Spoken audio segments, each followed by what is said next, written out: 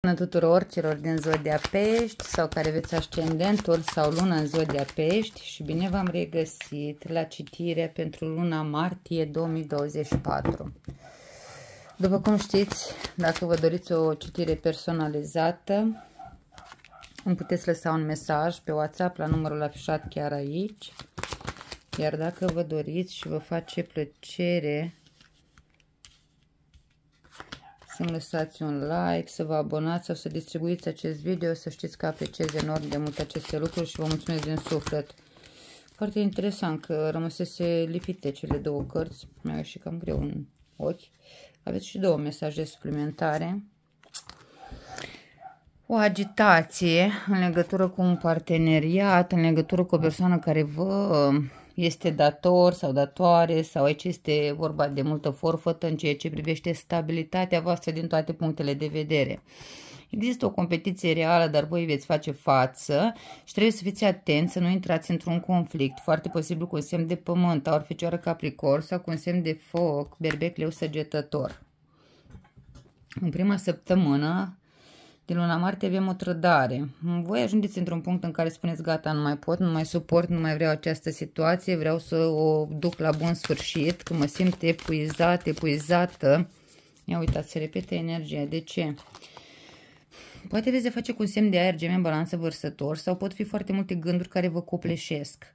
Și ajungeți într-un punct în care, într-adevăr, spuneți că e gata, stop, nu mai pot, nu mai suport, vreau o viață nouă, vreau un nou început, dar Problema e că voi eh, știți ce vreți, dar vă este foarte greu să inițiați acea situație sau vă simțiți așa că vi se pun bețe în roate sau că nu ajungeți la nivelul pe care vi-l doriți, în punctul pe care vi-l doriți sau nu găsiți ieșirea din această situație. Vă împotmoliți încă de la start, să spunem așa. În a doua săptămână avem un patru de cupe cam dezamăgiți pe anumite situații care nu se întâmplă în viața voastră așa cum v-ați fi dorit.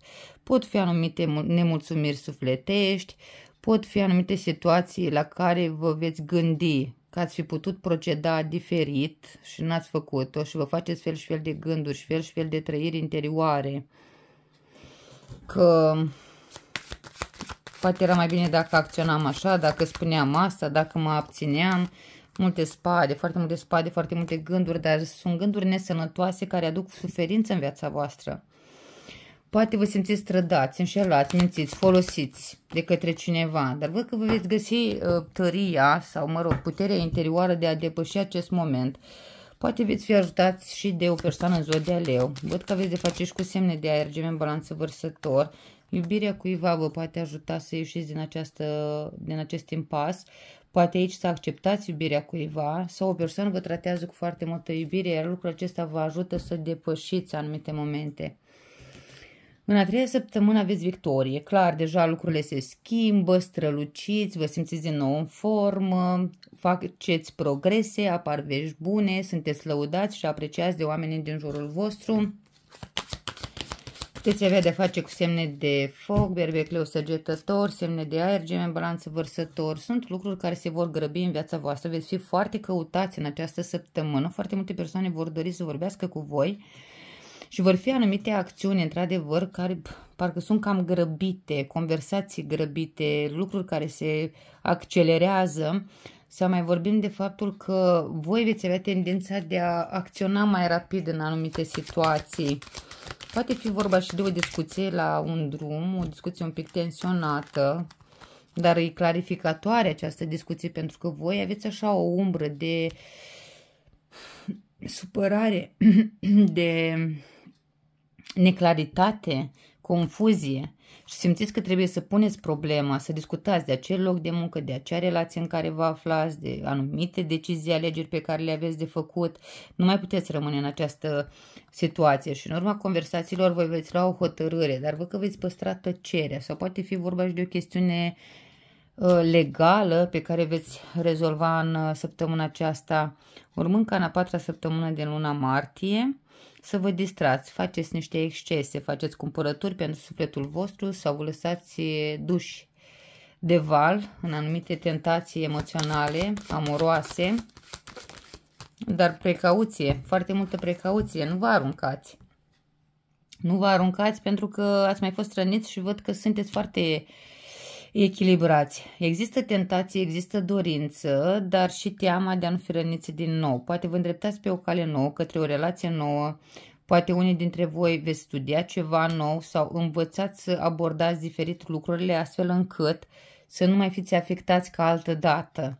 Puteți avea de face cu semne de pământ, aur, fecioară, capricorn, semne de foc, berbecle, săgetător, dar și semne de apă, rac, scorpion sau pești.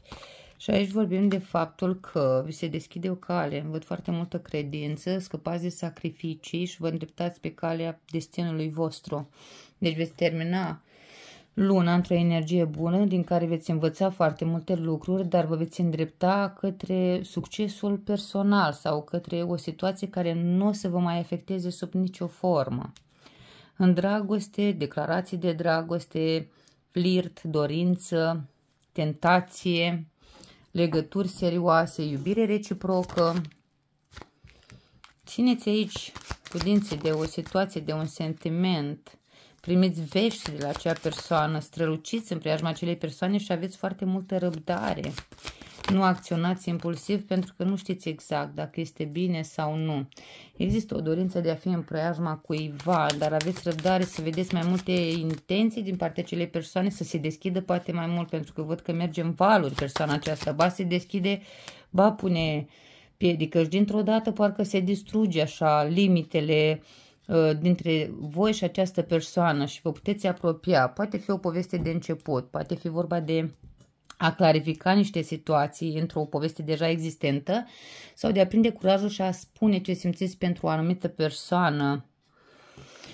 Pe planul profesional aveți nevoie de o pauză sau sunteți într-o pauză pentru că trebuie să mai faceți o alegere sau să vă împărțiți între iubire și muncă sau puneți foarte mult suflet în ceea ce faceți, vă dedicați foarte mult și văd foarte multe socializări sau socializați, comunicați, negociați pe proiecte, pe loc de muncă, Uh, aduceți elemente noi în proiectul vostru personal, întâlniți persoane noi și vă văd foarte încrezători, puneți mult suflet în ceea ce faceți și văd că aveți de, face, de a face și cu zodia gemeni.